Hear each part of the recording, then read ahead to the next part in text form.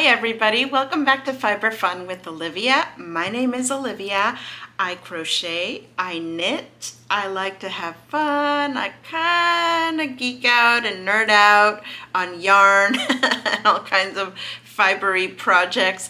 I hope you do too. Thank you for being here. If you are new, visiting, or a newer subscriber, welcome. I hope you have a little bit of fiber fun with us.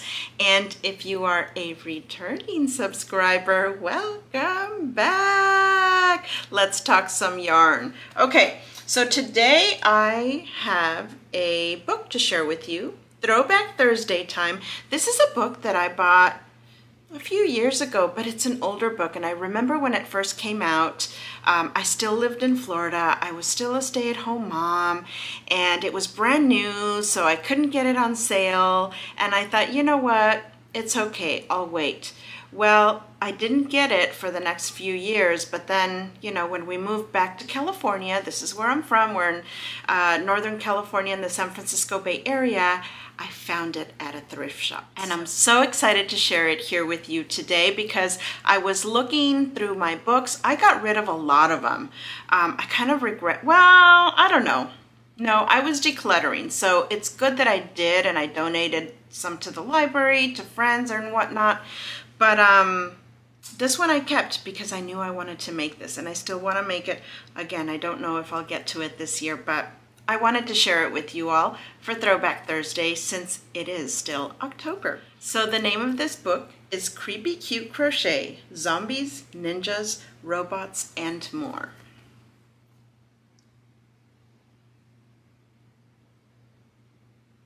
I just thought it was so adorable when it came out back in the day. Here's the back of it.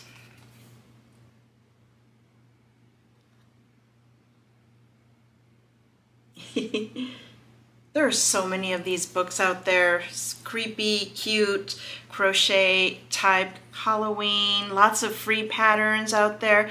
Back in the day, this was newer though, so um, I'm really excited to have found it at a thrift shop for like a third of the price. Yay! I love thrift shops.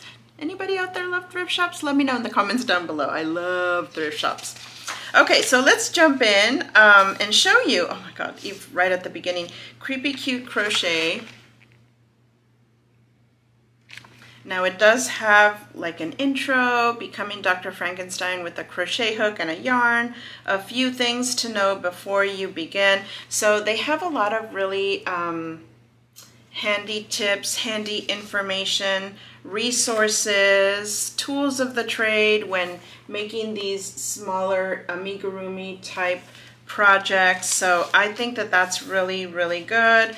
Um, optional materials, abbreviations, lots of really useful information. And they even have pictures on how to do stuff.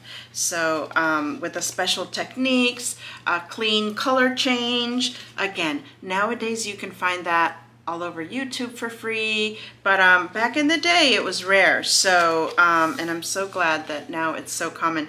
But, you know, if you do get the book, then you have it in your book as well. Um, another section on embellishments and weaponry, which I think is so cute. this is like the goth, you know, side coming out of me, and look at this. Adorable. Okay, let's jump into the patterns. It starts here. All the creatures are together, uh, but we're gonna look at them a little bit more closely. So, so the first one is devil. Apparently, he's in the details. Such a cute little devil, right?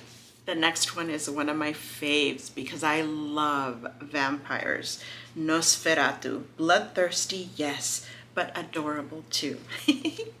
I love how playful they are. And right after that is Queen Vampire. Be sure to keep her majesty out of the sun.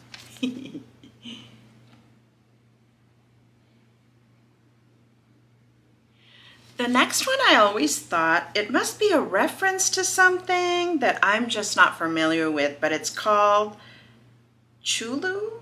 Chulu? Crazy cute, it says. If anybody knows where this is supposed to be from, please let me know.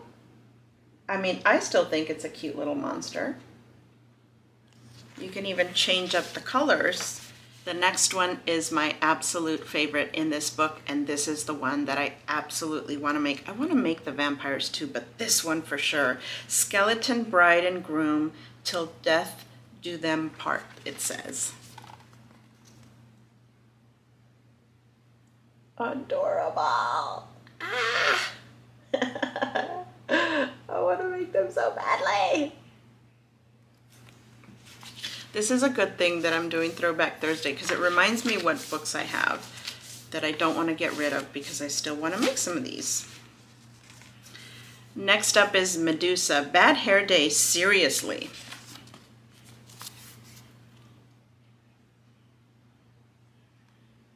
The next one, I don't know how they come up with these things, but they're cute. Fuzzy Alien, lovable in an otherworldly way. And they put it in a little cupcake pan. the next one is Cleric, healing tortured souls with a mace. I just have to giggle at all of these because they're just so cute.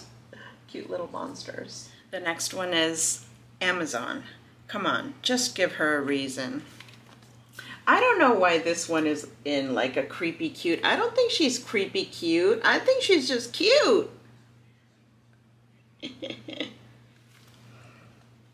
right? What do you guys think? Let me know. The next one is Corporate Zombie.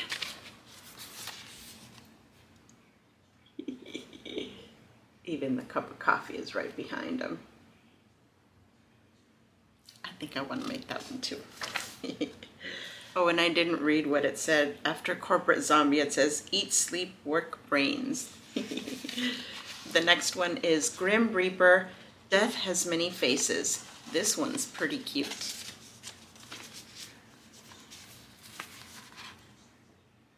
And I agree. It is totally cute. Look at the little teeth. Oh.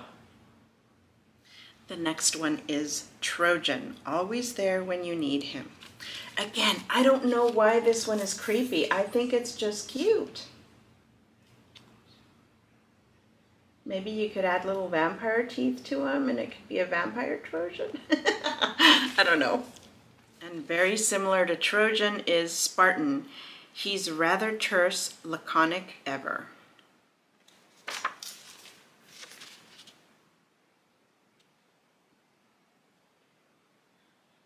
The next one is Cyber Zombie just needs to recharge with some brains.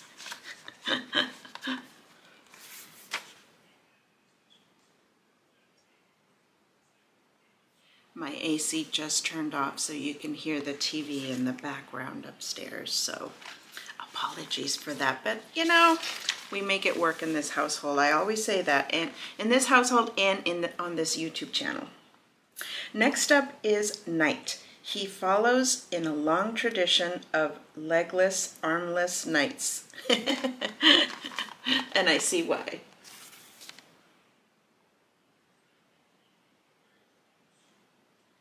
Two more left. Ninja, tiny, stealthy, deadly, cute.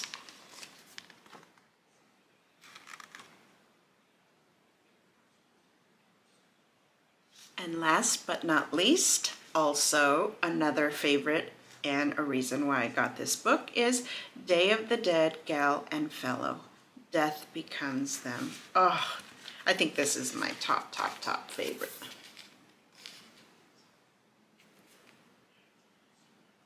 Too adorable. And that is it for my creepy cute crochet book. Let's look at them all together where they had them at the beginning of the book one last time.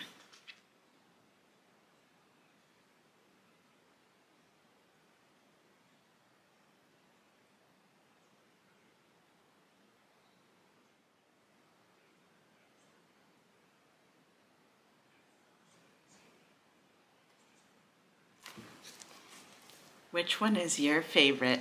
Do you have a favorite or do you have a few favorites? I do hope you enjoyed this Halloweeny, creepy Throwback Thursday book. Thank you for joining me today and I will talk to you later. Bye!